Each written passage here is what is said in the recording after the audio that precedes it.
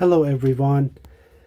I hope you're all doing well. As uh, as we are speaking, obviously, you know that people in areas of Turkey and Syria, which were hit with this very, very heavy earthquake, uh, are losing their lives. And uh, so far, more than 21,000 people uh, have died, unfortunately, as a result of this earthquake. It is extremely sad. It is it is really hard and difficult for me to make this video because imagine these people were alive a few days ago they had dreams they had wishes and they had goals in their lives, families, but they slept and the earthquake hit in the morning, very early in the morning when everyone was sleeping. And their lives changed forever. So many lives changed forever. And as of now, over 21,000 people uh, are no longer here on this earth. And uh, God knows how many more will be also losing their lives in the coming days. So the numbers the numbers don't look good. So I just it makes you wonder, it makes me wonder. I just wanted to share this moment of sadness with all of you. Of course, there's nothing with it. Um, it's just if you are a believer, if you truly believe in Allah and in the Quran, you know that everything that happens in the world is by Allah's permission. Especially when this number of people are about to lose their lives overnight. So these are everything, but I mean, especially this. And um, you would know that this is obviously by Allah's permission and Allah allowed this to happen. But I just wanted to share this with you. Um, it's just, I wanted you to see basically where this is. This area where the earthquake hit is technically this area. This is actually uh, one of the most uh, religious people in that area, those who follow, uh, they call themselves Sunni. So uh, they all live here. Um, this area of Turkey is more secular, as you know, but this area is actually mostly hardcore Sunni uh, followers that live in this area. And um, and uh, as you know, obviously, this earthquake hit right there. But this is not the only time. These things have been happening in the Middle East for years. If if you have been following the events, Syria, obviously, as you know, severe uh, civil war for the past several years. Hundreds of thousands of people lost their lives, obviously, as you know. Iraq, before that, there was a war, and after the war, there was a civil war. And even before that war, there was the war between Iran and Iraq and millions of people millions of people during that war lost their lives. Then iraq had several other wars. Millions of people lost their lives over there in iraq. Hundreds of thousands of people lost their lives in syria. Uh, you know about uh, the situation in palestine and the war that has been going on for years and uh, many people have lost their lives over there um, and also on the Israeli side the same. And uh, then you come down, obviously you look at Yemen and hundreds of thousands of people have lost their lives past um, past seven, eight years in Yemen. And uh, then we come look at Afghanistan and you all know the situation in Afghanistan. I mean, Again, hundreds of thousands of people have lost their lives during the wars that have been happening in Afghanistan since the time of Soviet Union.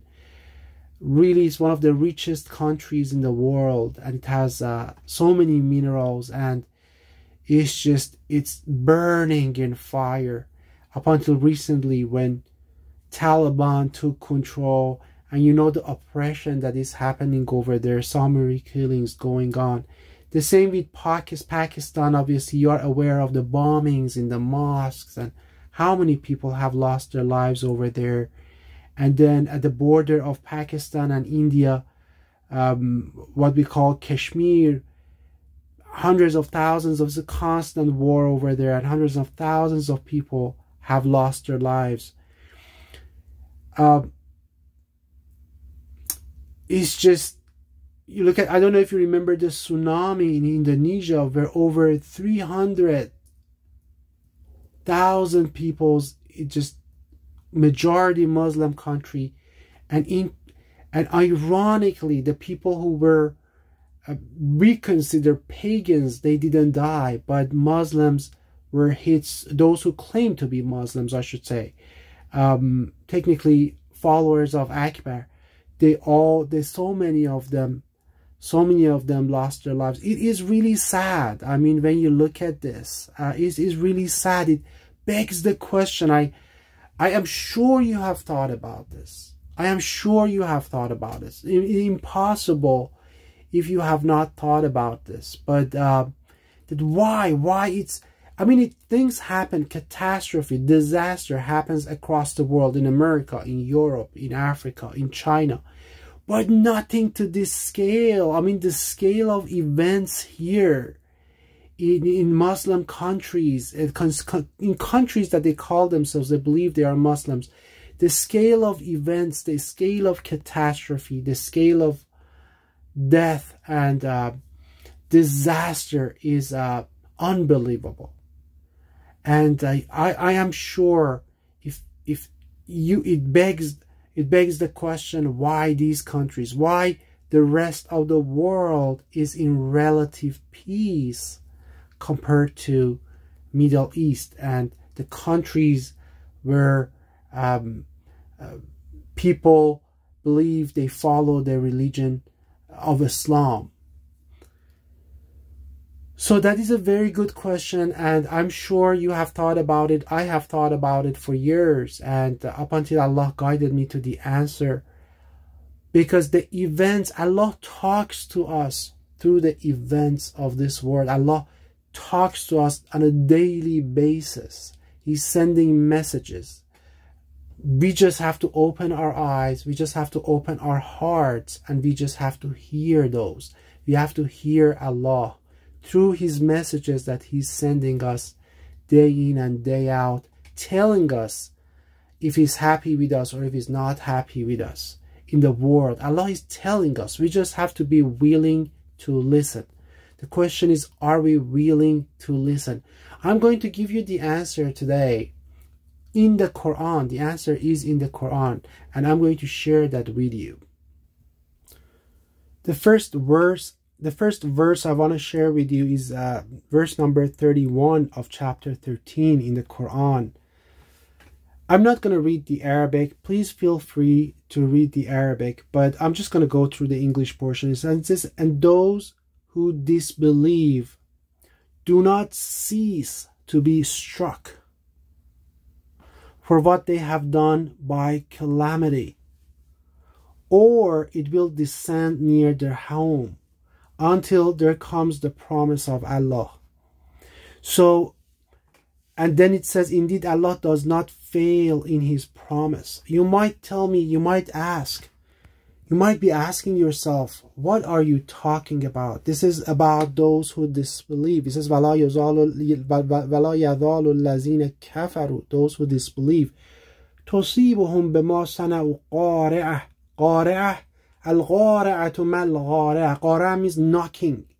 So earthquake is a Qari'ah. Everyone knows that. If you look at the Quran, there's actually a surah chapter Al-Qari'ah, mal-Qari'ah. Where it's talking about the earthquake. So earthquake is a big example of a Qari'ah. It's something that knocks the earth. That's a Qari'ah. You knock it hard. So what happened in Turkey a few days ago in Turkey and Syria is a Qari'ah. So this is this verse is talking about that. So the question is, why is it hitting so hard? So many earthquakes. A, a few weeks ago, another earthquake happened in Iran. It's just it's the right and left. Why is Allah knocking that the Middle East so hard? What is the message Allah sending to us? You might be saying, we are not disbelievers. We are believers. We believe. Yes, you believe, but you don't believe in Allah. You believe Allah is Akbar. And please watch those videos. I explain what Akbar is. You read the Quran. While you are reading the Quran, Quran is telling you how to stand your salah. You disbelieve in that and you stand your salah in the wrong way. Allah is telling you there's 365 occasion, occurrences of the word Yaum. So many verses describing the Quranic calendar. But you still follow the satanic lunar calendar. You read the Quran and you disbelieve in it at the same time. Allah teaches you how to fast in the Quran. Allah gives you example of Maryam. Allah gives you example of Zechariah. But you read those verses, but but still you fast wrong. Allah names the month of Ramadan in the Quran. Ramadan means the month of early rain, first rains. It's always the first month of fall. It has been that way for thousands of years. You read the word Ramadan, you still disbelieve in it. You do a rotating Ramadan that every time it's different. Allah tells you about the punishment of adultery, but you still stone people to death. You cut people's hand. You disbelieve in Allah and His verses, and you commit oppression, bloodshed.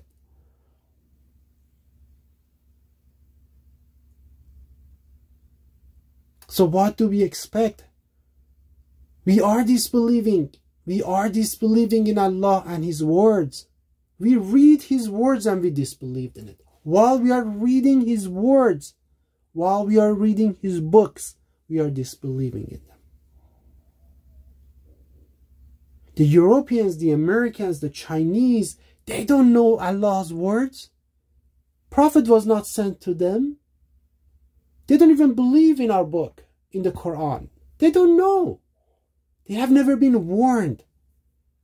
They have never been educated on it. They have seen us. They have seen these people, followers of Akbars, as the example. And who wants to follow that? Nobody. That's why they have an excuse. But what is our excuse? We read the verb, we read the words of Allah and we disbelieve in it while we are reading it.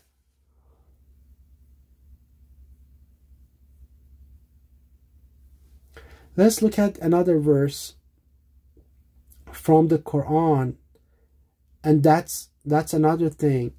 So I'm going to start reading this is actually very important verse. Again, verse number 65 of chapter 6 says he is the one able to send upon you affliction, punishment from above or from beneath. What is the punishment from beneath? It's an earthquake again. From above, it's the war.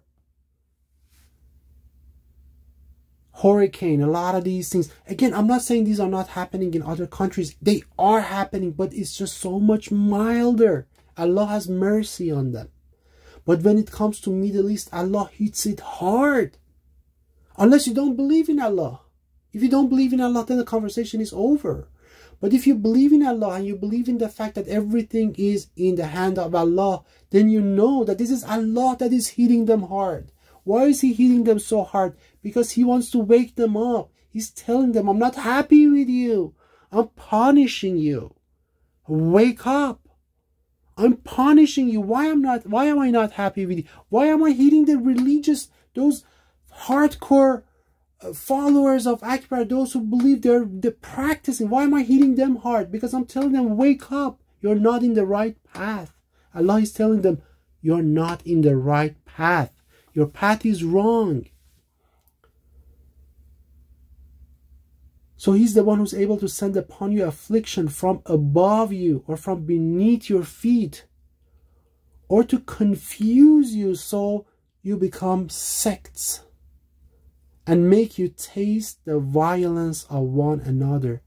These are the wars. These are the wars. That's why if you look at the map, I told you that map is on fire. It's burning. One area stops, the other area starts. Earthquake, war, civil war. It's people killing each other. This is why. And then what does Allah tell us? He says, look how we are explaining these signs that they might understand. What signs? The signs that I'm punishing you. I'm, I'm, I'm sending you affliction. I'm punishing you from above and from beneath. And I'm, I will turn you into sects and cause you to, to fight each other. Who is, this is, this, this is, this is Allah's verse. Do you believe in the Quran? Do you believe in Allah? This is Allah's verse. He's telling you this is what's happening in Middle East. This verse is happening in Middle East every day. This is Indonesia when 300,000 people lost their life. This is Iraq where millions of people lost their lives. This is Iran and Iraq Shia Sunni fight when millions millions of people lost their lives. This is Syrian civil war. Hundreds of thousands of people lost their lives. This is Yemen. Hundreds of thousands of people lost their lives. This is this earthquake. This is the punishment from beneath. This is the qara. This is the knocker. So this is happening all the time. Why don't we wake up? Until we wake up and we repent from the worship of Akbar, from the worship of Dajjal and the devil, and we repent and we return to Allah and the true religion. My brothers and sisters, these are going to continue. We have to wake up. Let me share with you another verse from the Quran. What does Allah says about true believer? He says, "Inna Allah amanu." Is Allah defends those who truly believe in Him. When is Allah defending us? When is Allah defending the those who claim to be Muslims? Sunnis, Shias, Islamic sects? Every war they enter, they get defeated. Every war they have, and they're the weakest countries in the world, most corrupt countries in the world, poorest countries in the world. Murder, oppression, Wars abound, injustice everywhere.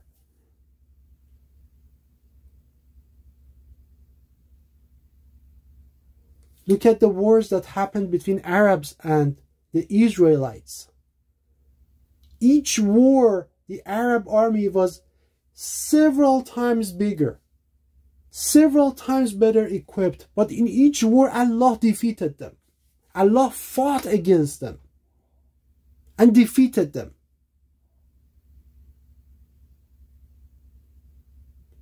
Again, they did in 1967. Egypt did it. They had better equipment. Go read the documentaries. Egyptians had better equipment, a lot more soldiers. Several countries gathered together, gathered their armies. Several countries went against them. They still got defeated. Why do you think that is? Do you believe in Allah? Allah defeated them. Allah fought against them. Because they are not the followers of them. They don't follow the religion of Allah. They follow the religion of Akbar. Now you go around and say, okay, Jews, uh, Allah is angry on, against the Jews or غضب الله غضب الله عليهم but how much more angry Allah is with you When you say those things you're condemning yourselves you who call yourself Sunni or you call yourself Shia, doesn't matter. Worshippers of Akbar, priests of Akbar. When you say those things, you're condemning yourself. If Allah is angry with the Israelites, how much more angry Allah is with you that supports the Israelite and defeats you, fights against you. Allah is fighting against you. Allah and His angels are fighting against you. Do you know why? Because you have abandoned Allah, the source of light, the source of living water, the creator of this world. You have abandoned Him. And you follow the religion of the devil. You follow the religion of Akbar, who teaches you how to kill, how to cut heads, how to cut hands, how to oppress 50% of your population, oppress women, how to announce sex jihad. What kind of a religion? The priest of which religion in this world have authorized sex jihad? The religion of Sunnis. Unheard of. Even atheists have not done that. But these people authorize sex jihad in Syria. Is this the religion of God or is this the religion of Satan?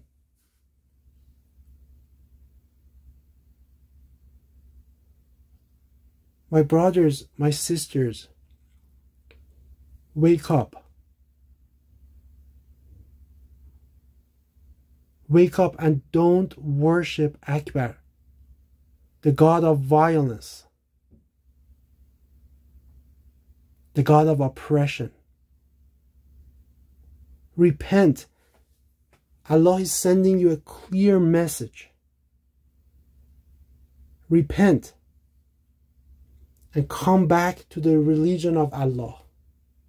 Perform your salah correctly. Follow the correct calendar. Worship Allah with a pure heart and a pure mind. And Allah will re return to you. Return to Allah and Allah will return to you. Peace and blessings to all of you.